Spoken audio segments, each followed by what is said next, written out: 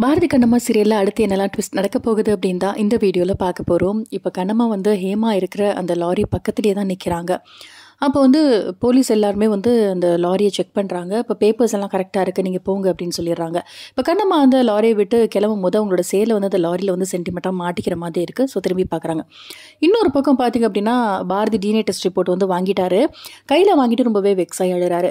ஹேமா லட்சுமி ரெண்டு பேருமே பாரதி கண்ணம்மா ரெண்டு பேருக்கும் பிறந்த குழந்தைங்க அப்படின்னு சொல்லிட்டு வந்துடுது ஸோ வந்து இதை பார்த்தோன்னே பாரதிக்கு என்ன சொல்கிறதுனே தெரில ரொம்பவே அழுறாரு. இத்தனை வருஷமாக கண்ணம்மாவை பிரிஞ்சு வாழ்ந்துட்டோமே. அவளை புரிஞ்சுக்கல. எவ்வளவோ அவள் சொன்னால் நம்ம தான் கேட்கல இப்போ கடைசி நேரத்தில் கூட எல்லாத்தையும் மறந்துட்டு வாங்க நம்ம சேர்ந்து வாழலான்னு கூட சொன்னாலே நம்ம எல்லா தப்பு பண்ணிட்டோமே அப்படின்னு சொல்லி ரொம்பவே கதறி அழறாரு. சரின்ட்டு ஊருக்கு போகலாம் அப்படின்னு சொல்லிட்டு ஃப்ளைட் டிக்கெட்லாம் புக் பண்ணுறாரு கண்ணம்மா காலில் விழுந்து மன்னிப்பு கேட்கணும்.